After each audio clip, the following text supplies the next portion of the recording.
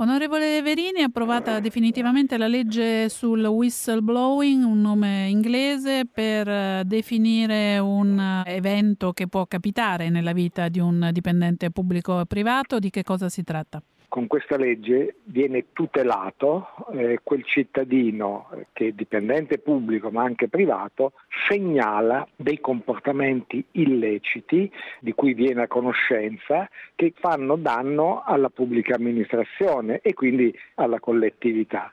Finora c'erano delle norme previste nella legge Severino del 2012, però spesso venivano usati in termini inappropriati queste norme.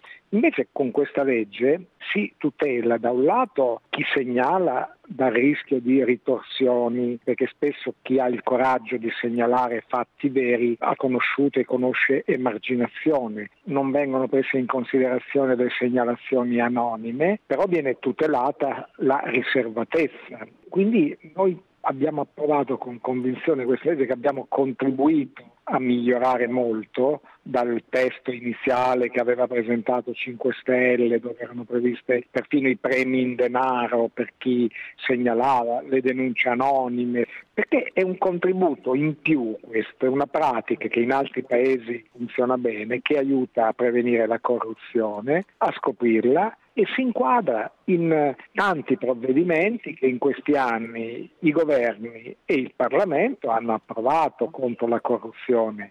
C'è chi ha sottolineato che la parte che riguarda il settore privato eh, potrebbe essere ancora migliorata in seguito, è così? Vedremo, eh, vedranno eh, nei prossimi anni i legislatori futuri, però oggi è un giorno importante per il Parlamento perché a larghissima maggioranza è stato approvato un provvedimento che si inquadra, come dicevo, nel contrasto serio, nella prevenzione alla corruzione e quindi anche se non sarà perfetto, è certamente un provvedimento molto molto importante. È stato un provvedimento, lei lo diceva, ampiamente condiviso nel suo iter e ampiamente votato oggi. Forza Italia ha votato contro. Ma Forza Italia non, non dimostra mai troppa sensibilità su, su, su questi temi.